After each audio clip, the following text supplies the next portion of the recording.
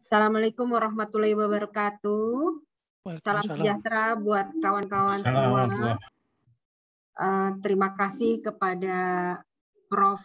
Dokter, ini saya biar nggak salah nyebut nih, Prof. Dokter Andri Dianugraha, SSI, MSI, Direktur Pendidikan Non-Reguler ITB, kemudian Pak Arif Haryanto, aduh mohon maaf tidak memberikan gelar ke saya, jadi saya tidak bacakan gelarnya. Direktur Pendidikan ITB, serta kawan-kawan pengurus Ikatan Alumni ITB, baik dari pengurus pusat, pengurus daerah, ikatan jurusan, ataupun dari komisariat. Alhamdulillah kita panjatkan kepada Allah Subhanahu wa taala. Sore ini kita dapat bertemu walaupun secara daring tetapi tidak mengurangi makna dari sebuah pertemuan. Kawan-kawan semua, dalam rangka mendukung program baru ITB yang baru saja diluncurkan, Sore ini Kementerian Vokasi dan Sertifikasi PPIA ITB membuat webinar agar kita dapat mendengarkan paparan program yang akan dibawakan oleh Profesor Andi dan uh, Pak Arief selaku penanggung jawab program yang bernama Program Non Reguler dan Non Gelar ITB. Kita pasti bertanya-tanya apakah program ini ditujukan untuk siapa, berapa lama, dan yang paling concern sebenarnya biayanya bagaimana nih, gitu kan? Nah, juga mungkin pertanyaan dari kawan-kawan, kenapa saya mengundang seluruh alumni ITB? Karena eh, program ini tidak terbatas usia, jadi usia tidak membatasi. Never old to study. Jadi eh, nanti kawan-kawan eh, bisa bertanya setelah sesi pemaparan. Sesi pertanyaan akan saya buka dalam dua bagian. Yang pertama adalah uh, pertanyaan menggunakan raise hand. Itu ada tiga orang. Kemudian sesi kedua nanti uh, tiga pertanyaan saya akan ambil dari chat. Demikian kawan-kawan, mari kita dengarkan bersama paparan Prof. Andri dan uh, Pak Arif Hadianto. Waktu dan tempat kami persilakan. Baik, terima kasih. Izin share uh, screen terlebih dahulu. Uh, di... Apakah sudah terlihat, Bapak Ibu? Punten. Ya, Pak Andri. Baik, selamat sore. Assalamualaikum warahmatullahi wabarakatuh. Yang saya hormati Bapak Ibu eh, pengurus Ikatan Alumni ITB, Bapak Ibu semua Ikatan Alumni ITB, terima kasih kami aturkan telah mengundang kami untuk menginformasikan atau memaparkan mengenai program non-reguler dan non-gelar ITB. Bersama saya sore ini ada Pak Dr. Arif Haryanto, beliau Direktur Pendidikan ITB, beliau dari teknik mesin eh, FTMD. Kemudian juga saya lihat hadir juga ada Kasubdit uh, Pendidikan Berkelanjutan Pak Dr. Rahmat Sule. Uh, baik, sebelum uh, saya lanjutkan mengenai program non reguler dan non gelar ITB, saya akan memperkenalkan dulu apa itu Direktorat Pendidikan Non Reguler ITB. Bapak Ibu semua, rekan-rekan alumni ITB yang saya hormati, Direktorat Pendidikan Non Reguler sebetulnya direktorat yang baru ya. Jadi sejak 2020 sejak kepemimpinan Bu Rektor sekarang ini baru didirikan. Nah, ini ada dua uh, subdirektorat ya. Yang pertama ini ada uh, direktorat uh, atau program studi program profesi insinyur ya atau PSPPI. Jadi Bapak Ibu atau rekan-rekan yang ikut program profesi insinyur di ITB nanti ada di direktorat kami. Nah, ini kaprodinya, kepala subdirektoratnya Pak Insinyur Agus Karim, ya STMT PSD IPM, beliau dari Teknik Mesin FTMD. Kemudian yang kedua eh, subdirektorat pendidikan berkelanjutan. Ini kepala subditnya Pak Dr. Eh, Renat Insinyur eh, Muhammad Rahmat Sule, biasa dipanggil Pak Sule atau Pak Deni atau Pak Rahmat. Nah, beliaulah orangnya gitu ya. Ini dari Teknik Geofisika dari FTTM ITB. Baik, hari ini sore ini saya akan fokus mengenai subdit pendidikan berkelanjutan gitu ya. Salah satunya nanti ada program uh, non reguler atau non gelar. Jadi di uh, subdit pendidikan berkelanjutan ini kami menangani beberapa program itu ada ada namanya program uh, research student. Ya, nah ini bersama-sama dengan Direktorat Pendidikan Pak Arif juga Sekolah Pasca Sarjana gitu ya menyelenggarakan program ini. Program research student ini dulu mungkin kita kenal dengan nama program matrikulasi ya sebelum masuk S2 ataupun S3. Nah, kemudian juga kami mengelola uh, training atau pelatihan yang bersifat berkelanjutan dan terjadwal ya. Jadi kalau nantinya itu eh, di dicantolkan katakanlah dengan suatu mata kuliah tertentu di S2, nah ini bisa digunakan sebagai pra program magister berkelanjutan. Kemudian juga ini masih dalam eh, proses eh, penyempurnaan, ada program pra magister yang melalui rekognisi pengalaman lampau atau RPL. Kemudian juga ada program pelatihan untuk mendapatkan sertifikasi keahlian tertentu Misalnya ada lembaga pendidikan pelatihan untuk pengadaan barang dan jasa gitu ya. Nah, ini bisa masuk di sini.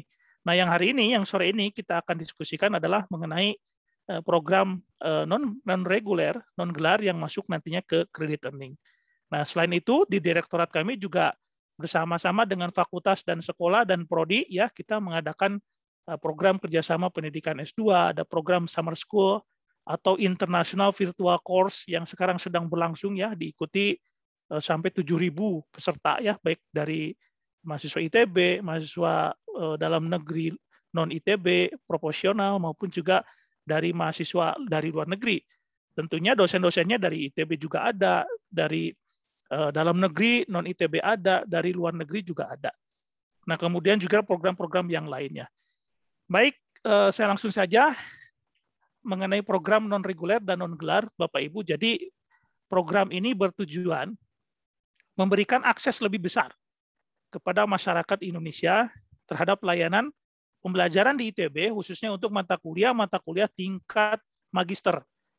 Jadi mata kuliah yang ditawarkan diharapkan dapat memberikan kesempatan bagi masyarakat luas di Indonesia untuk menempuh pendidikan di ITB sebagai mahasiswa non reguler. Ya, jadi di sini eh, ITB memberikan kesempatan kuliah secara fleksibel dengan tetap bekerja dan mampu meningkatkan pengetahuan dan kemampuan dalam rangka tantangan pekerjaan di masa depan. Ya, kegiatan tersebut dikemas dalam bentuk perkuliahan eh, program non reguler dan non gelar. Jadi kuliah program non reguler dan non gelar ITB ini intinya untuk meningkatkan pengetahuan dan wawasan teknologi. Program ini juga bisa menjadi eh, program pra magister, tentu dengan syarat dan ketentuan berlaku ya. Nanti itu sebetulnya sedang kami godok. Nah, Eh, peserta yang mengikuti program ini diberikan eh, kesempatan maksimum ya untuk mengambil mata kuliah 12 SKS per semester. Ya, jadi tanpa harus menjadi mahasiswa reguler di ITB. Nah, pada semester 1 2021-2002 ini sebetulnya ini merupakan yang pertama kali mengadakan program ini ITB. Kami menawarkan lebih dari 100 eh, mata kuliah ya, di mana topik-topik yang ditawarkan itu yang pertama ada business and management gitu ya. Kemudian juga ada yang artificial intelligence, big data, and data processing. Kemudian yang ketiga ada renewable and sustainable engineering. Yang keempat ada proses mechanical and aeronautic uh, technology. Yang kelima ada material and nanotechnology. Yang keenam ada nature science, art, and philosophy gitu ya. Yang ketujuh ada instrumentation, control, and programming. Kemudian yang kedelapan ada farmasi, ada bioscience and engineering. Yang kesembilan ada geoscience and engineering, yang kesepuluh ada math dan actuarial science. Nah, ini semua perkuliahan dan ujian seperti mahasiswa reguler. Ya, seperti halnya mahasiswa reguler untuk semester sekarang itu akan dilaksanakan secara full daring.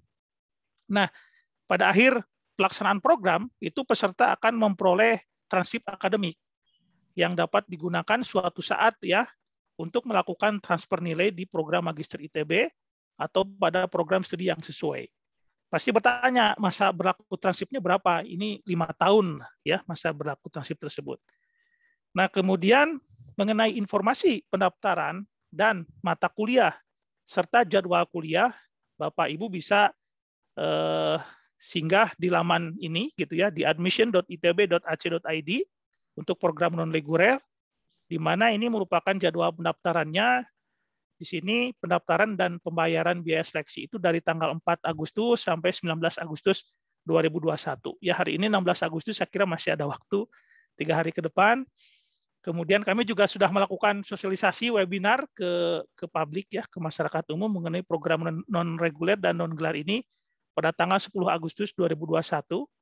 Kemudian pada tanggal 21 Agustus nanti ada batas akhir pembayaran biaya pelaksanaan program dan eh, pada tanggal 20 Agustus kami akan menginfokan ya eh, yang eh, lulus ataupun yang lolos gitu ya ikut program ini. Nah, kemudian pada tanggal 21 Agustus juga akan dilaksanakan webinar pelaksanaan perkuliahan bagi peserta program yang diterima. Nah, di ITB hari pertama perkuliahan ya itu semuanya sama itu pada tanggal 23 Agustus 2021. Jadi sekitar satu minggu lagi dari hari ini ya kita akan mulai proses perkuliahan di ITB ya Pak Arif ya.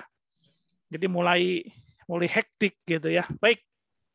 Tentu ada beberapa pertanyaan dari Bapak Ibu, rekan-rekan semua ya. Ini saya coba eh, jelaskan. Yang pertama itu apa syarat mengikuti program ini?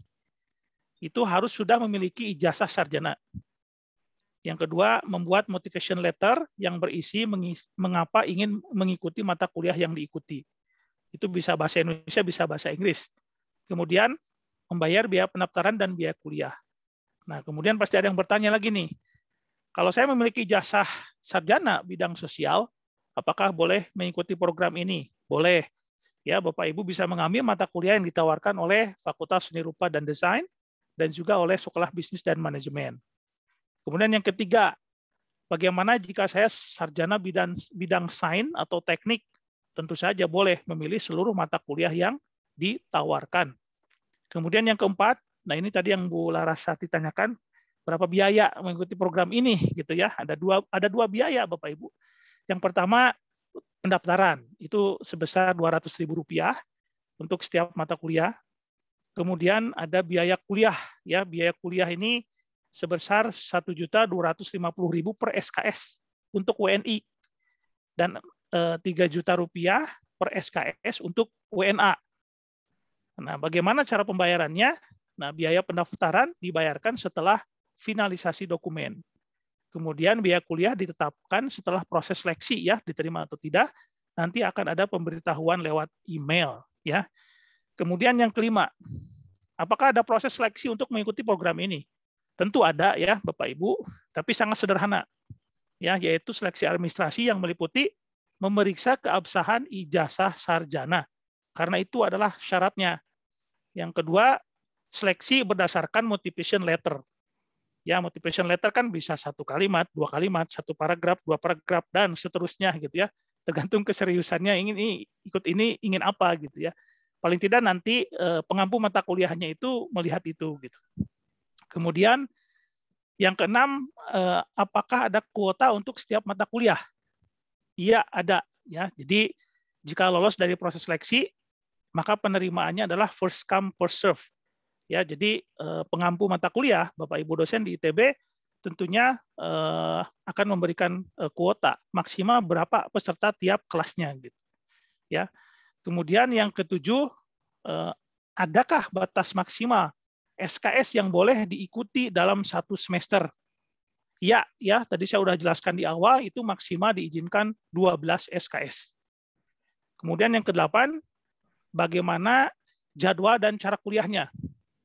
Jadwal Bapak Ibu sudah dapat dibaca di laman admission.itb.ac.id atau dari buklet yang dapat diunduh sangat lengkap informasinya, termasuk silabus, dosen pengajar, dan capaian belajar yang diharapkan. Seluruh kuliah nantinya akan dilaksanakan eh, secara daring, jadi sangat mudah diikuti dari mana pun. Kemudian, yang kesembilan, saya sudah ada jadwal kerja di jam kuliah nih. Bolehkah saya mengikuti melalui rekaman? Boleh. Ya, yang penting muncul dulu di jam kuliah, lalu boleh dilakukan perekaman sehingga bisa diputar ulang. Kemudian yang ke-10, siapa kawan kuliah saya nanti? Jangan khawatir, banyak ya. Jadi program non reguler non gelar ini akan dilaksanakan dalam satu kelas dengan program reguler. Jadi nanti kawan kuliah adalah eh, mahasiswa reguler magister dan mahasiswa non reguler lainnya. Jadi bisa lebih eh, diskusi gitu ya. Karena tidak dibedakan ini mahasiswa reguler, ini mahasiswa non reguler tidak dibedakan karena capaian mata kuliah itu harus tercapai kualitasnya gitu ya, capaian pembelajarannya. Jadi ada kuliah biasa, ada UTS, UAS ya, ada ada tugas ya Pak Arif ya dan ya. lain sebagainya gitu ya. Jadi Eh, capaian mata kuliah tidak eh, tidak dibedakan untuk mahasiswa reguler dan non reguler.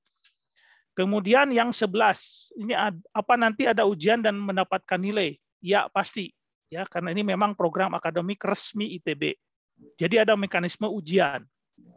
Di akhir semester nanti, para peserta akan mendapatkan transkrip nilai yang bisa diakui ITB melalui mekanisme credit earning jika akan melanjutkan ke magister reguler. Yang ke-12 terakhir yang biasanya ditanyakan secara umum adalah bagaimana caranya kalau saya ingin mengikuti program magister reguler menggunakan transkrip nilai dari program non reguler non gelar. Nah, itu bisa dilakukan, tapi ada prinsip yang tidak boleh dilanggar, yaitu pemenuhan struktur kurikulum prodi magister yang akan diikuti nantinya dan itu wajib diikuti. Ya, jadi sederhananya mata kuliah wajibnya ya diambil gitu ya pilihan jalur dan pilihan eh, non jalur juga ada aturannya serta SKS-nya wajib mengikuti struktur kurikulum. Jadi Bapak Ibu rekan-rekan semua jika tertarik eh, dipersilahkan eh, untuk menghubungi atau lapor ke prodi magister yang diminati atau menghubungi kami nanti kami bisa fasilitasi untuk diarahkan supaya tercapai keinginannya. Saya kira itu secara umum yang bisa kami sampaikan ya mungkin bisa lanjut lagi nanti dengan diskusi. Ada saya, ada Pak Arif, ada Pak Rahmat Sule. Silahkan.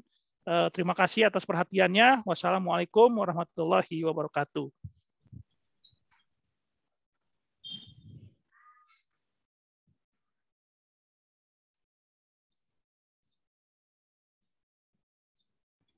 Waalaikumsalam warahmatullahi wabarakatuh. Terima kasih Prof. Andri.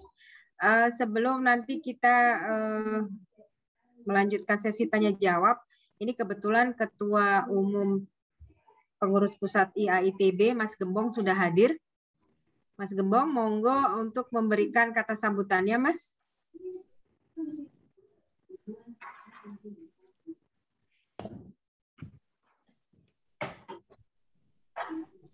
Terima kasih Mbak Laras. Ya, um, assalamualaikum warahmatullahi wabarakatuh.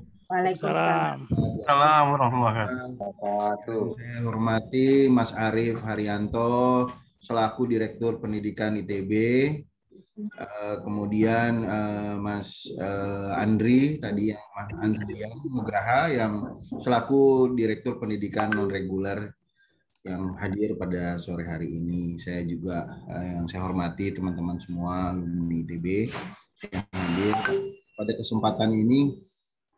Mas, pada kesempatan ini mungkin eh, kita pengen tahu banyak tentang program-program yang ada di ITB dan mudah-mudahan kami akan bisa eh, mensosialisasikan ini semua ke alumni ITB eh, yang lain. Dan memang saat di saat seperti sekarang ini uh, besar keinginan dari alumni-alumni ITB untuk meningkatkan uh, meningkatkan kemampuan dirinya dengan program-program reguler non gelar maupun program-program yang apa S2 dan S3. Nah, kami kemarin sempat juga diskusi soal Eh, bagaimana alumni-alumni ITB yang uh, alumni muda ITB yang baru saja lulus tahun dua tahun ini kemudian juga ingin bisa uh, mendapatkan uh, higher qualification dari uh, mudah-mudahan nanti kita bisa punya program kerjasama ke depan ya Mas Arief uh, supaya kita tentunya eh, bisa membantu alumni-alumni ITB yang memang berkeinginan untuk meningkatkan eh, kualifikasinya baik itu melalui sertifikasi maupun melalui program-program S2 dan S3. Saya mungkin mengikuti saja cara sore hari ini. Mudah-mudahan banyak juga hal-hal yang saya sebelumnya tidak tahu, kemudian saya terinfo hari ini sehingga nanti saya bisa bersama dengan Mbak Laras dan tim bisa membuatkan program ke depannya karena uh, ini kita butuhkan baik itu oleh ITB maupun oleh alumni-alumni kita semuanya. Demikian sementara dari saya. Terima kasih. Wassalamualaikum warahmatullahi wabarakatuh. Waalaikumsalam. warahmatullahi wabarakatuh. Mas Gembong, terima kasih. Uh, mungkin sebelum kita QA, kita mau foto dulu, Mas. Uh, tolong dibuka semuanya ya, nanti kita foto dulu. Uh, monggo, Mas. Oh, aku satu lagi Pak Andri. Ya. Yeah. Silakan difoto. Sudah? Satu, ya. dua. Belum on semuanya. Udah. Udah, siap. Udah. Tapi belum ininya. Siap, sayang. Udah? Oke, kemudian untuk yang pesertanya juga monggo deh, silakan. Ya, makasih, makasih buat Mas Luki sama Mbak Dila. Yang buat pesertanya juga monggo disilakan difoto dulu sebelum kita mulai QA.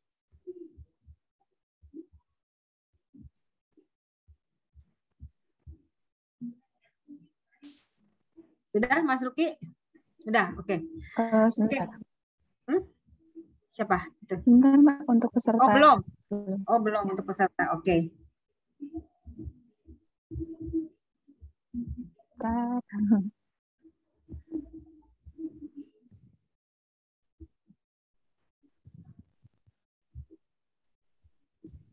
Satu, dua. Halaman selanjutnya. Satu, dua. Udah, Mbak. Oke, makasih. Makasih, Dila. Iya, sama-sama. Oke. Silakan eh, kawan-kawan, uh, siapa yang mau bertanya? Saya belum lihat di sini, belum ada yang press hand ya. Silakan yang mau uh, bertanya, silakan langsung saja uh, unmute terus bertanya langsung. Monggo.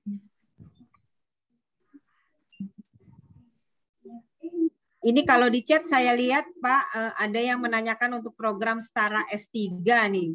Dijawabnya belum ada, tapi kira-kira kapan adanya di Pak Andri dan Pak Arif? Kalau, kalau S3 memang requirement-nya beda ya Bu Larasati. Jadi memang uh, untuk sementara ini kita masih belum fokus ke sana. Jadi uh, kita lebih fokus dulu ke magister karena memang uh, kita melihat juga kebutuhan pasar itu artinya uh, industri kita dunia usaha industri kita kan lebih banyak membutuhkan ke yang pertama pasti yang uh, level S1 kemudian yang kedua magister gitu jadi yang dokter ini masih belum belum fokus tapi memang ada rencana uh, dokter yang bisa dilakukan di, di istilahnya apa Pak Pak Andri yang PDK program PDK, dokter ya? kemitraan Ya, jadi itu bisa dilakukan di lokasi tempat bekerjanya ya Pak Andri ya. Kalau Betul. biasanya dengan lembaga penelitian. Ya. Yang yang yang sudah jalan itu di mana ya Pak Andri? Saya saya lupa juga Pak. Itu mungkin yang dengan lembaga riset ya seperti ya, dengan LIPI begitu. LIPI, Jadi kalau yang ya. kalau yang kalau yang lembaga riset itu memang bisa uh, kita punya punya kerjasama khusus gitu. Jadi tidak perlu mahasiswa S3-nya harus ke Bandung gitu ya, karena bisa dilaksanakan di lokasi tempat uh, beliau bekerja tapi fokusnya sementara ini untuk yang lembaga riset. Kalau untuk yang industri sudah ada sih sebenarnya dulu kalau nggak salah waktu saya jadi kaprod itu di FTMD juga sempat ada uh, ide juga untuk memfasilitasi uh, program dokter untuk uh, calon mahasiswa dari industri begitu. Tapi ya mesti masih panjang lah karena itu harus program baru jadi harus disetujui dulu ya senat akademik. Saya kira gitu ya Pak Andri ya. Betul. Ya Pak. Gitu Bu Larasati.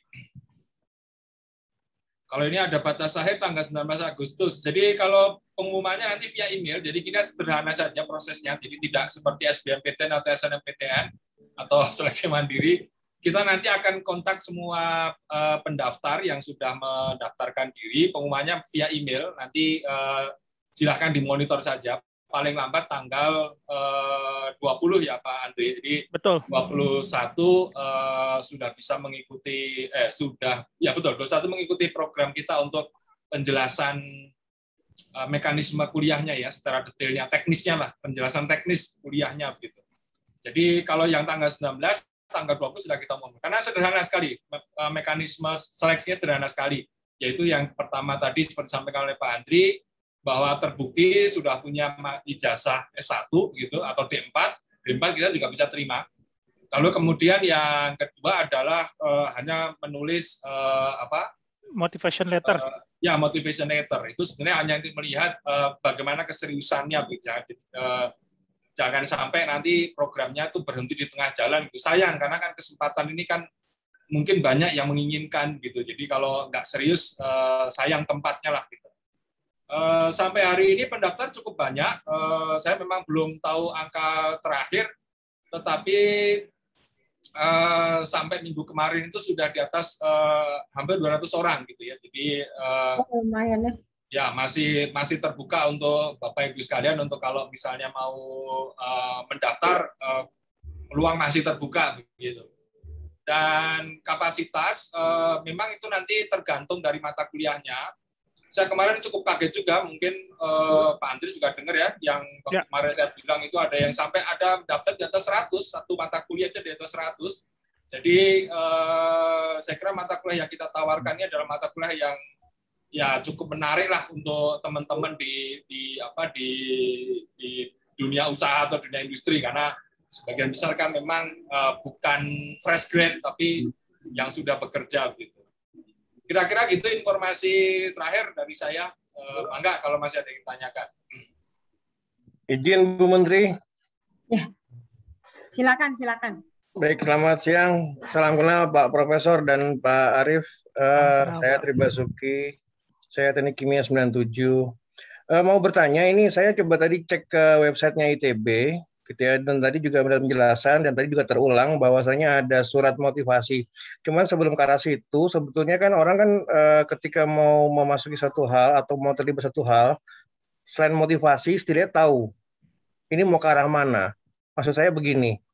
Kita mau ke arah Bandung tinggal pilihannya adalah mau naik bus, naik kereta atau e, naik angkot kan seperti itu ya.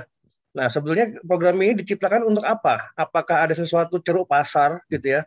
Maaf ya bahasa saya mungkin agak agak sedikit vulgar ya ceruk pasar quote unquote jadi kayak bisnis gitu ya. padahal tidak mungkin kepada lebih ke pengabdian ya kan kita punya terdakwa hukum tinggi ya jadi apakah karena ada kebutuhan di masyarakat tinggal kita mengakomodir hal tersebut gitu ya mungkin packagingnya adalah seperti kayak uh, bayar SKS dan sebagainya tapi di luar itu semua sebetulnya arahnya mau ke mana? Karena kalau orang misalnya ini, ini mohon maaf, mohon maaf. Kalau misalnya undang-undang insinyur diberlakukan secara penuh di Indonesia pada hari ini, maka kayaknya mungkin hampir seluruh alumni TB bisa jadi nggak bisa kerja karena nggak ada yang boleh satu pun yang uh, berkecimpung dan ke engineeringan kecuali dia punya sertifikat sertifikat insinyur profesional. Kalau di Malaysia sudah mandatori, tapi hanya untuk terbatas yang endorsement engineering. Nah kalau untuk yang seperti ini non reguler dan non gelar, ini kan jadi semacam kayak non saya mohon maaf. Ini saya mungkin bodoh ya, saya hanya melihat sederhana saja. Kebutuhannya mau ke arah mana ini sebetulnya? Yang diakomodir oleh rektorat atau ITB kampus kita ini mau ke arah mana sebetulnya di masyarakat? Seperti itu. Terima kasih. Bisa jawab, Andri? Ya, Pak Arif, monggo. Ya, jadi begini, seperti disampaikan oleh Pak Andri tadi, bahwa uh, Bu Rektor pada prinsipnya ingin kita ingin memperluas uh, akses pendidikan. Akses pendidikan kepada uh, masyarakat Indonesia, akses pendidikan ITB kepada masyarakat Indonesia. Itu sebenarnya tujuan utamanya. Kalau bisnis jelas nggak ada uangnya, uang satu juta dua ratus per SKS gitu, nggak ada uangnya lah itu. Tapi memang kita punya uh, misi bahwa ITB ini kan sudah selayaknya lah bisa diakses oleh makin banyak orang gitu. Nah kalau dulu uh, memang uh, cukup sulit karena memang harus datang ke Bandung. Nah sekarang ini kan kita punya peluang karena ya ini artinya blessing lah sedikit blessing gitu ya bahwa situasi pandemi ini membuat kita bisa kuliah secara online gitu. Nah, itu yang sekarang kita lakukan, uh, Pak Tribasuki. Jadi, pada prinsipnya yang paling utama itu adalah kita memperluas akses pendidikan level magister gitu. Kalau level sarjana bagaimana kenapa tidak dibuka juga gitu. Nah, jawabannya adalah karena kapasitas kita untuk yang sarjana itu sudah sudah penuh, Pak. kita itu sekarang uh, mahasiswa S1 kita itu 4.000 anggaplah rata-rata 4.000 uh, per angkatan ya. Jadi kali kali 4 berarti kan 16.000. Nah, 16.000 orang itu sudah sudah full capacity kita lah dengan kampus yang sekarang ini. Nah, untuk yang magister itu kita masih punya spare, masih punya space lah gitu. Jadi dosen-dosen kita itu masih kita bisa berikan beban untuk yang level magister gitu. Nah kalau tadi Pak Tribasuki menanyakan soal uh, insinyur, Pak Pak Andri bisa jawab lebih detail itu. Silakan Pak Andri kalau yang program insinyur Pak Andri. Baik, terima kasih Mas Tribasuki ya. Jadi kalau uh, program insinyur di ITB ada namanya PSPPI, mungkin Pak Tribasuki juga udah ikut ya Pak ya. Nah itu program sendiri program profesi insinyur memang betul sih ada undang-undangnya. Kalau nggak salah undang-undang nomor 11 tahun 2014 tentang keinsinyuran. Nah, memang ada beberapa tahapan eh, bahwa seorang eh, insinyur itu bisa sampai apa ya eh, aplikasi gitu ya sampai ke dapat dia surat tanda registrasi insinyur ya atau STRI. Memang tahapannya salah satunya adalah dia punya sertifikat insinyur dari PSPPI, kemudian dia ikut sertifikat insinyur profesional dari PI katakanlah, kemudian juga ada apa itu sertifikasi yang lainnya sebelum dia terdaftar gitu ya. Memang mestinya sih undang-undangnya kan udah ada ya sejak 2014 ya, tapi saya juga kurang paham seperti apa jalannya gitu ya. Nah, e, memang seperti itu keadaannya saya kira. Jadi betul saya kira Pak Tribasuki ya kalau secara tadi e, apa undang-undang memang seperti itu isinya gitu. Baik itu Pak Arief. Mangga. Jadi kalau Bapak Ibu ya yang tertarik ikut program studi program profesi insinyur juga silakan e, di kami fasilitasi itu yang program RPL ya yang rekognisi pengalaman lampau ya bisa diambil dalam waktu satu semester. Nah, kebetulan juga kami sekarang uh, untuk semester 1 2021 2022 ini kami menerima sekitar 300-an mahasiswa RPL, kebanyakan dari uh, industri maupun dari pemerintahan dan lembaga-lembaga. Nah, di sini juga mungkin ada Bapak Ibu yang tadi sudah ikut hari pertama ya penerimaan mahasiswa baru yang profesi insinyur. Itu Pak Tribasuki dari saya. Terima kasih. Pak Arif, enggak? Uh, boleh sedikit lagi Pak, tambahan dikit Pak, bertanyanya Pak. Mangga, mangga. Baik, kalau seandainya insinyur, bila mana undang-undang insinyur diberlakukan, maka itu menjadi mandatori untuk bagi bukan hanya alumni ITB, juga alumni kampus lain yang akan bekerja dalam bidang keengineeringan.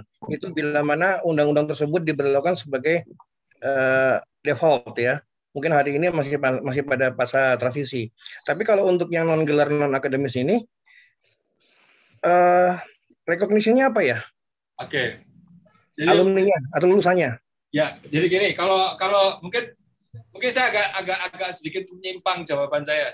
Kalau Bapak Ibu perhatikan, saya memasang iklan itu sengaja eh, agak ya agak nyeleneh gitu ya. Saya pasang itu teman saya itu anak 88 itu sedang masa dia dia apa kuliah gitu ya. Karena memang, memang kami memang, eh, Bu sebenarnya menyampaikannya begini kita ingin siapa pun yang ingin apa menambah pengetahuan itu kita beri akses lah. Walaupun itu ibu rumah tangga sekalipun yang tidak bekerja. Oh supaya nggak cepet pikun ya belajar aja.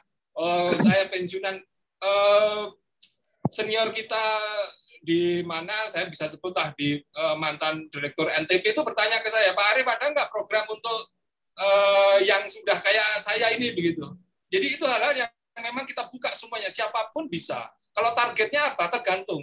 Kan ada tadi yang rumah tangga ya supaya saya nggak bosan aja di rumah atau supaya saya nggak cepat pikun atau saya ingin mengembangkan pengetahuan atau kalau ujung akhirnya oh saya ingin memang ingin uh, mendapatkan gelar gitu ya mendapatkan tapi artinya secara bertahap jadi tidak langsung ke reguler nah ini ada petnya juga nanti jadi misalnya nanti uh, apa uh, bukan alumni saya nyebutnya kalau alumni kayaknya agak ini apa namanya eh, mahasiswa non reguler yang sudah menempuh sekian SKS, tentu ini ada persyaratannya. Persyaratannya apa? Memenuhi kurikulum. Jadi bukan asal ngacak ngambil sekian. Eh, jadi kalau magister itu eh, saat program magister itu kurikulumnya 36 SKS. Nah, kalau misalnya yang bersangkutan itu mengambil sesuai dengan kurikulumnya, nanti di ujung akhir itu bisa menjadi program reguler magister. Nah, peraturan di Indonesia kita yang namanya eh, SNDT. SNDT itu mengatakan program magister reguler itu minimal harus satu tahun. Jadi kalau nanti di ujungnya itu, oh saya ingin dapat uh, gelar gitu, nah dia harus mendaftar sebagai mahasiswa reguler magister. Nah, yang mata kuliah yang tadi sudah diselesaikan tadi itu bisa diajukan pengakuan, namanya credit earning kalau di, di apa istilah kami. Nah, credit earning itu nanti akan mengurangkan mata kuliah yang harus dipenuhi di kurikulum tersebut. Tapi tentu saja mata kuliah yang di, akan diakukan itu adalah mata kuliah yang memenuhi struktur kurikulumnya begitu.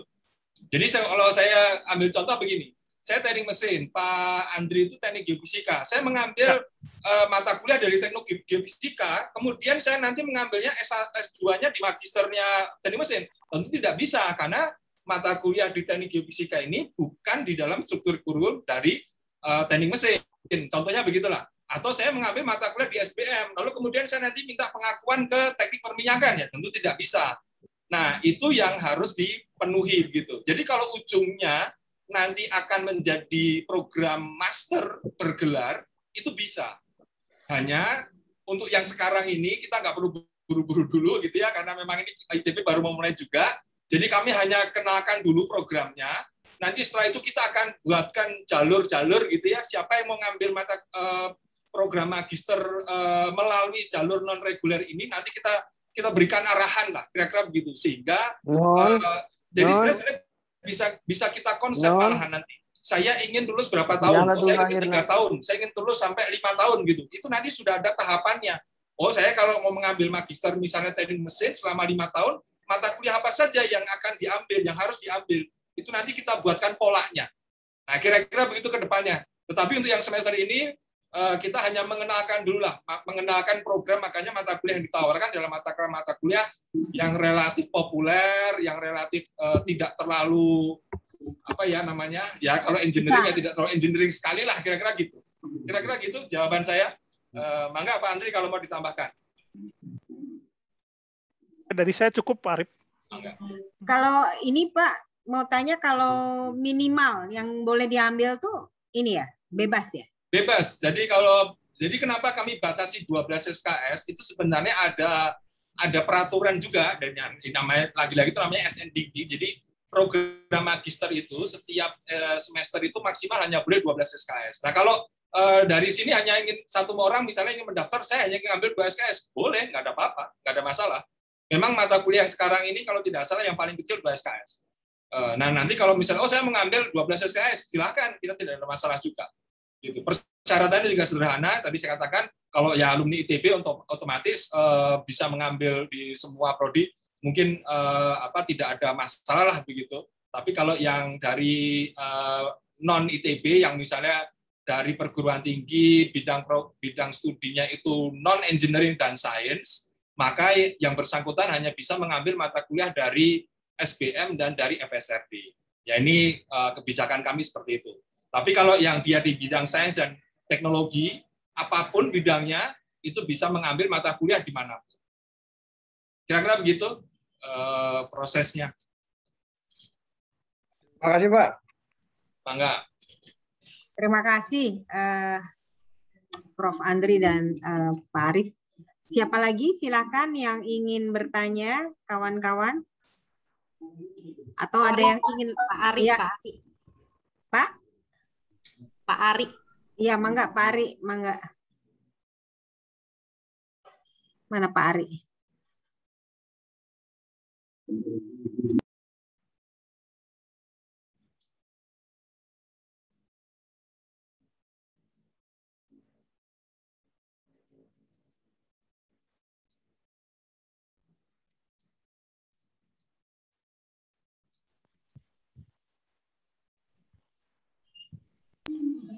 Mbak Intan, Mbak Pak Ari mana yang mana? Tuh, masih mute ya, masih mute. Ari ya. Kurniawan. Masih mute Pak Ari, Pak Ari Kurniawan. Pak Ari masih mute, nggak kedengeran suaranya mana ya?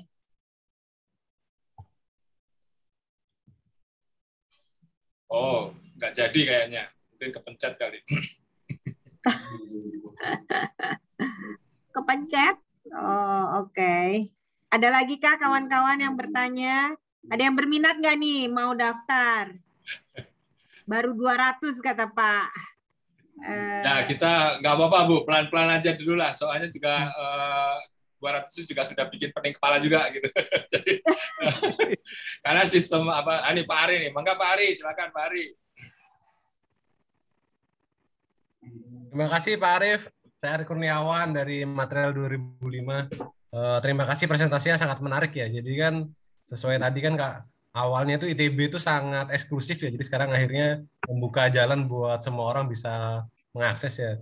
Saya tertarik yang tadi itu masalah apa namanya penggabungan awalnya non reguler akan menjadi master yang reguler gitu kan. Sementara ini saya sempat baca kalau misalnya kita master itu minimal 36 SKS dan maksimal itu ditempuh dalam waktu 4 tahun gitu kan. Apakah bisa kita dengan adanya program ini seperti master master nyicil gitu, Pak. Jadi semester ini 6 SKS, 6 SKS, 6 SKS kayak gitu kan. Jadi satu itu kalau kami yang bekerja mungkin masalah waktu ya terkendala waktu, yang kedua juga mungkin ada kendala biaya juga kan, Pak. Jadi kan apa mengurangi uang, uang jajan tentunya gitu. Kecuali kalau Mbak Larasati yang mau traktir gitu mungkin bisa itu.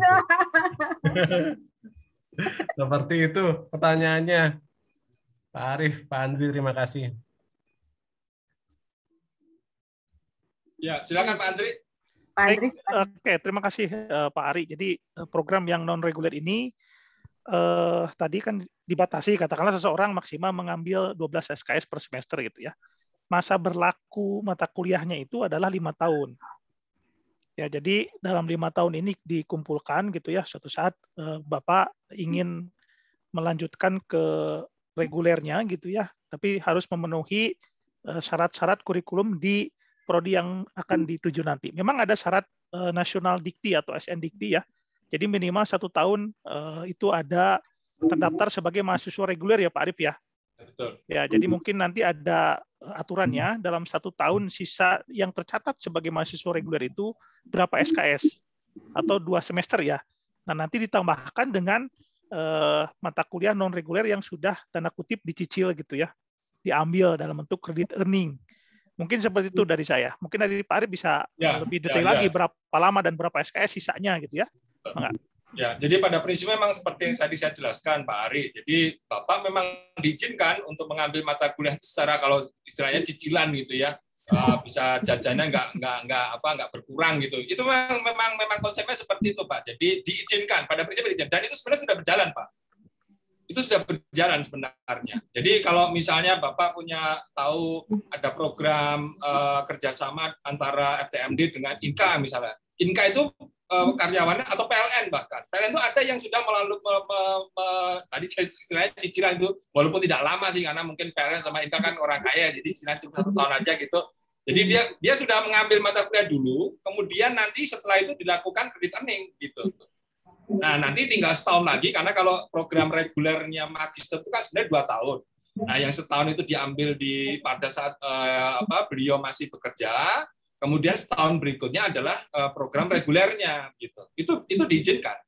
Nah, kalau program reguler magister ITB itu sebenarnya maksimal tiga tahun, Pak. Tapi kalau SN Dikti itu mengizinkan empat tahun. Jadi kalau ITB itu lebih ketat lah. Jadi hanya boleh tiga tahun. Nah, apakah nanti boleh jadi empat tahun? Ya boleh, tapi nanti ngobrol dulu dengan saya lah. Nanti ujungnya gitu karena kalau rapat rapat kasus baru minggu kemarin saya ngomongin itu. Nanti harus ngobrol dulu lah kira-kira ini layak nggak di, dikasih perpanjangan atau tidak gitu. Nah kira-kira gitu. Tapi boleh Pak Ari, jadi jangan khawatir gitu. Ya jadi bisa ya buat yang teman-teman yang lagi kuliah eh, kerja nih Pak kebetulan. Iya, ya, betul, betul. Memang ya, memang itu sebenarnya salah satu idenya kenapa kita membuat non reguler itu adalah karena uh, ya kita melihat bahwa uh, selama ini ITB uh, apa ya tadi kalau dibilang kalau eksklusif sebenarnya tidak sih tetapi memang programnya hanya program reguler gitulah yang yang yang sering kali menjadi sulit diakses Pak. Kira-kira begitu. Nah, sekarang ini kita buka peluangnya. Walaupun sebenarnya secara terbatas itu ya Bu Larasati. Jadi kalau secara terbatas itu sudah dilakukan Bu Laras. Sudah dilakukan, tetapi biasanya modelnya model kerjasama. Misalnya ya. teknik sipil dengan PUPR, teknik geofisika dengan BMKG ya itu juragannya itu Pak Pak Pak Andri itu juragannya itu kalau kerja sama BMKG teknik mesin dengan eh, PLN gitu itu sudah ada Bu. Nah sekarang kita buka publik jadi kalau dulu harus harus harus melalui perusahaan sekarang bisa diakses publik tanpa harus terikat kantornya Nah, kira-kira gitulah yang yang kita lakukan itu sebenarnya. Hmm, hmm, hmm. Termasuk juga tidak terikat dari universitas mana ya lulusannya Ya. S1-nya ya. Betul, betul. Nah, Jadi- nanti pada betul. Nah, tapi pada saat nanti masuk S2 reguler tentu akan melalui program eh, sorry, pendaftaran yang normal, kemudian ujian yang normal, tapi ya logikanya sederhana lah. Kalau sudah lulus sampai misalnya 10 SKS non reguler, mau sih ujian masuk ITB-nya nggak nggak keterima kan gitulah. Kira-kira gitulah. Jadi ya kita tetap melalui proses yang normal, tetapi saya yakin teman-teman yang sudah menyelesaikan cukup banyak eh, mata kuliah non regulernya untuk menjadi mahasiswa reguler kok rasanya nggak akan ada banyak kes, kes- apa ke- kesulitan lah gitu. Paling syaratnya kan hanya TPA, lalu kemudian TOEFL, ya itu kan standar aja lah. Wah ini Mas Gembong nanya saya deg-degan saya. Monggo monggo Mas Gembong. Mas, mau nanya tentang eh, bedanya non reguler, non gelar ini dengan yang eh, magister dan yang lain-lain lah ya program yang biasanya ada ini. Ada beda pembobotan nggak? Apakah ini yang non reguler ini lebih ke skill eh, dibandingkan ke knowledge-nya atau sama saja? Sama Mas, sama. Jadi karena ini akan ikut di kuliahnya reguler. Gitu. Jadi akan ikut di kuliahnya reguler. Pak apa Pak Andri ini buka kuliahnya itu. Salah satu yang membuka mata kuliah non reguler itu Pak Andri. Pak Andri itu nanti akan mengajar mahasiswa magister reguler bersama magister yang non reguler di satu kelas. Jadi sama, kita tidak akan bedakan sama gitu. Nah, jadi kurang lebih ya mungkin hanya keleluasaan masalah tadi ya waktu ya karena eh, ya kalau misalnya kerja ya bolehlah direkam nanti didengarkan nanti tapi kalau tugas ujian dan seterusnya itu akan sama lah kira-kira begitu. Ya, ya. Wah, Karena gini, aku melihat tadi di program-programnya itu kan menarik ya lebih kepada eh, ilmu praktis sebetulnya ya yang yang kayak renewable energy kan kan kalau kita bicara soal knowledge-nya udah ada di mana-mana gitu tapi implementasinya terus bagaimana me- mengeksekusi eh, project renewable energy atau tadi yang lain-lain ya ada beberapa yang disampaikan oleh eh, Mas Andri tadi Kang Andri tadi Eh, sebetulnya yang dibutuhkan itu lebih banyak sebenarnya ke arah eh, skillnya ya dibandingkan ke pengetahuan apa ilmu pengetahuannya. Gimana tuh Mas? Oke, Pak Andri mau jawab? Arif dulu lah sekalian. Oke. Pak Andri ini 10 tahun di bawah saya, tapi profesornya 10 tahun lebih cepat daripada saya. Atau saya nggak pernah profesor, malah Pak Andri ya. Sorry. Oke, nggak apa-apa. gini, gini. Kalau sebenarnya gini Pak Gembong, jadi karena tadi saya sampaikan waktu eh, kami berkonsultasi saya dengan Pak Andri, dengan Pak Jaka itu berkonsultasi dengan Bu Rektor, Bu Rektor menyampaikan untuk yang sekarang buka aja dulu mata kuliah-mata kuliah yang memang relatif populer dan dan memang eh, dibutuhkan banyak oleh masyarakat. Kira-kira begitu. Jadi bukan mata misalnya bukan analisa teknik satu gitu ya. Kalau di teknik mesin itu pasti pasti bikin pusing lah gitu bukan. Jadi kita lebih banyak ke aspek wawasan, kemudian tadi masalah skill, skill itu sebenarnya lebih ke eh, bagaimana eh, apa pengetahuan di di level lapangan ya, eh, apa eh, Mas Gembong ya. Jadi kira-kira memang seperti itu. Jadi untuk yang sekarang ini kita arahkan ke sana. Jadi eh, pada dasarnya nanti ke depannya pun kita akan lebih banyak fokus ke arah situ, ke arah-arah yang seperti itu. Nah, tetapi kalau nanti seseorang itu ingin mengambil menjadi reguler, tentu ya mau tidak mau suatu hari harus berhadapan dengan mata kuliah-mata kuliah yang ya harus butuh apa namanya knowledge-nya lebih dalam lah kira-kira gitulah. Mata kuliah Jadi, wajib. Ya, mata kuliah wajib. Kan kalau di struktur kurikulum itu ada namanya mata kuliah wajib, mata kuliah wajib jalur ya Pak Andri ya. Kalau Ya. magister itu ada magister jalur. Jadi contoh teknik mesin, teknik mesin itu sorry saya salah teknik mesin, nggak saya paham teknik mesin. Teknik mesin itu ada program misalnya nanti untuk jalur eh, kita nyebutnya bukan renewable. Eh, aduh, saya, saya kok lupa. Jadi intinya ke arah situ lah, ke energi gitu ya. Itu nanti ada mata kuliahnya. Jadi mata kuliah wajib itu semua mahasiswa harus mengambil. Kalau mata kuliah wajib jalur itu tergantung yang jalurnya apa. Apakah teknik produksi, ataukah yang renewable energy, apakah misalnya untuk yang kontrol, itu beda-beda. Nah, itu mata kuliah pilihan jalur. Wajib jalur, maaf. Eh, Nah, di paling bawah itu mata kuliah pilihan. Nah, sekarang yang kita tawarkan yang mata kuliah pilihan. Teman-teman sekalian. Jadi mata kuliah pilihan yang memang yang yang tidak ada tidak belum belum ketahuan mau ke mana sebenarnya. Oh nanti saya akan fokus ke sana gitu ya. Nanti baru kita arahkan. Oh kalau anda mau ke arah misalnya uh, jalurnya itu renewable, nanti ada mata kuliah ini yang diambil. Setelah itu ini yang diambil dan seterusnya. Kira-kira gitu pak. Jadi kalau yang sekarang ini memang kita lebih banyak menawarkan mata kuliah-mata kuliah yang bisa dikuasai, bisa dibermanfaat secara luas lah, kira-kira gitu.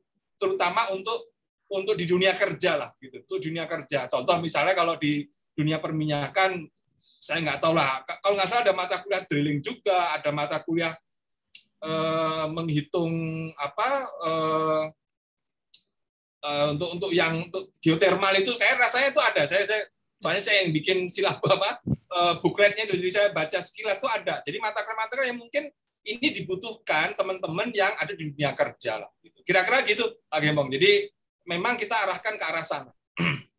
gitu, uh, Bu Laras. Kasih, Mas. Yeah, Jadi, yeah. sebetulnya gini, saya tuh uh, agak sedikit uh, berharap ya dari ITB itu kemudian membuat program-program yang mendorong orang-orang yang sekarang sudah bergelut di bidang itu untuk meningkatkan skillnya.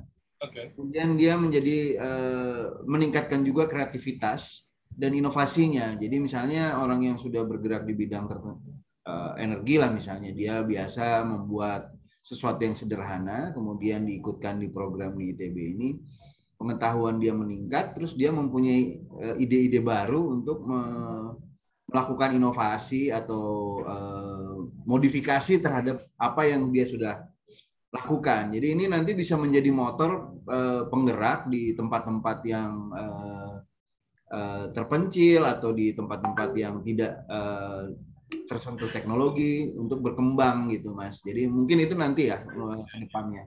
Mungkin gitu. Yeah, yeah. ya. Terima kasih Mas Gembong. Uh, mungkin buat catatan Pak Andri dan Mas Arief nih sebagai ya. direktur pendidikan dan yang non reguler memang uh, kita mengharapkan bahwa jadi begini kalau di pasar luar negeri seperti yang kita tahu ya eh, Indonesia ini kan masih rendah sekali. Nah, baru nomor empat loh di ASEAN itu. Kita hanya nomor empat hanya di atas Filipina nah itu apa keahlian atau sertifikasi itu jadi jadi bobot yang besar kalau kita melamar pekerjaan di overseas. Contoh eh, di anggota kami eh, mungkin hari ini tidak hadir Mas Hairun itu kan beliau atas pendidikan di Papua Nugini. Di sana beliau bilang bahwa antara lulusan mahasiswa ITB yang lulusan TOK dengan lulusan mahasiswa ITB dengan sertifikasi ya tertentu gitu, gajinya bisa dua kali lipat bedanya. Jadi uh, mungkin buat uh, apa ITB mesti uh, menambah sesuatu untuk lulusannya terutama di pasar regional atau pasar internasional. Mungkin kalau di pasar dalam negeri lulusan ITB mah sudah sudah TOP lah ya. Ya. Dan uh, ininya juga banyak alumninya di industri-industri dan di pemerintahan sehingga biasanya uh, apa al, alumni minded itu masih berjalan sekarang ini. Uh, apalagi ada eh teman-teman ada lagi yang mau bertanya atau kita sudahi? Mungkin saya ada agak info sedikit Bu Laras. Oh, uh, tadi yang karena menyinggung soal sertifikasi. Saya sempat ngobrol dengan salah satu kaprodi dari uh, teknik sipil. Uh, sorry, FTSL. Saya uh, di beliau itu di transport kalau tidak salah.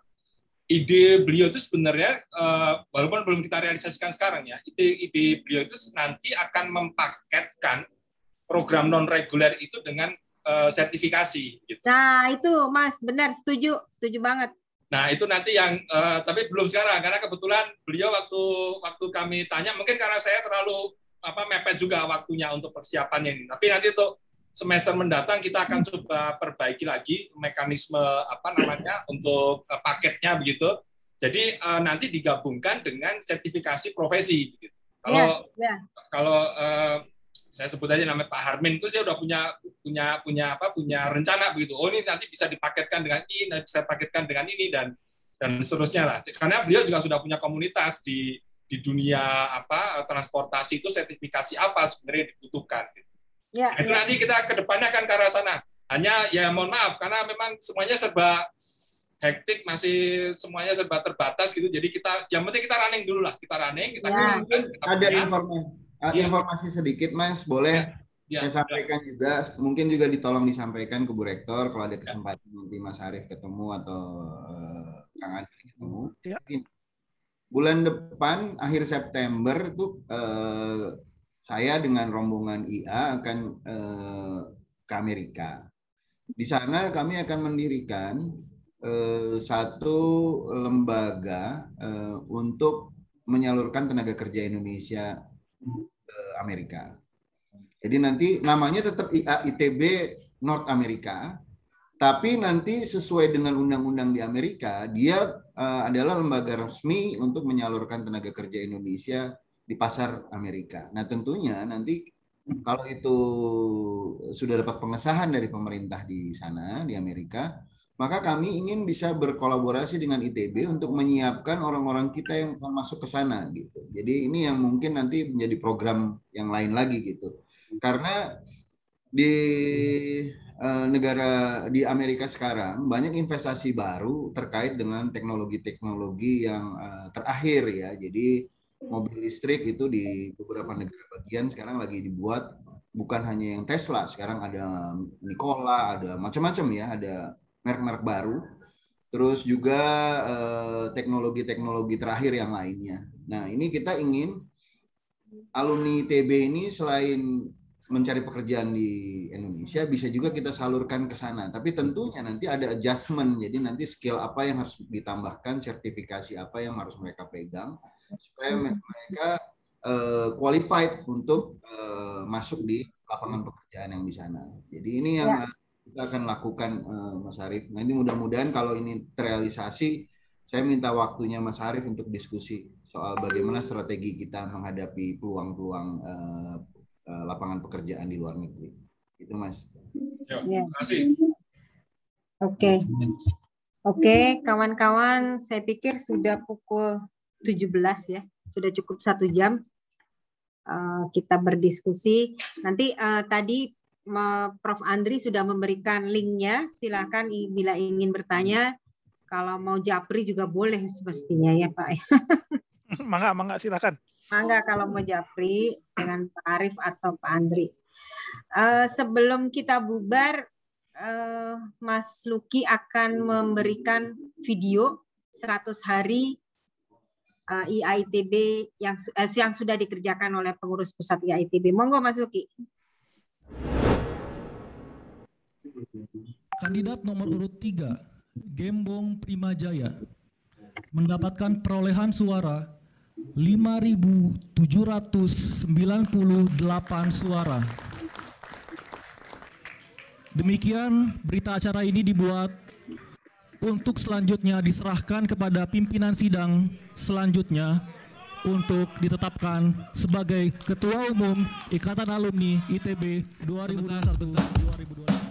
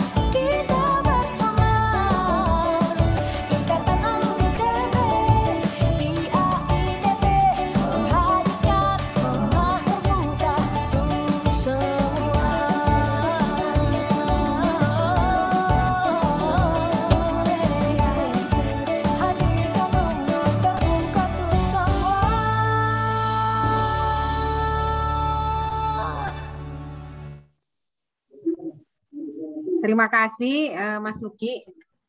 Mas Gembong, terima kasih atas kehadirannya. Mas Pak Andri, Pak Andri. Pak Arif, Hatur nuhun, terima kasih kawan-kawan semua, terima kasih. Mohon maaf bila ada ada kurang-kurangnya di acara hari ini. Semoga kita bisa bertemu lagi di acara eh, Ikatan Alumni ITB lainnya. Wassalamualaikum warahmatullahi wabarakatuh. Waalaikumsalam, nuhun, Pak Gembong, hatur nuhun, Bu Laras, Bapak Ibu semua. Mangga. Ya, mangga-mangga Pak. Assalamualaikum. Assalamualaikum. Teman Pemda, Komisariat, dan eh, Prodi juga yang hadir pada sore hari ini. Terima kasih, Mbak Laras. Sama-sama Mas Gembong. Pengawas juga ada hadir, Mas Oh iya, Dewan Pengawas juga. Oh, pengawas. Zainal Mutakin, anggota Siap, pengawas. Mas. Siap, Mas. Nggak, ke- nggak kelihatan ini soalnya satu-satu. Wah, ada Kang Oyin juga nih. Oke, oke, pamit ya. Terima kasih ya, Mas Gembong. Bye. Assalamualaikum. Ya, Sampai ketemu. Bye. Assalamualaikum.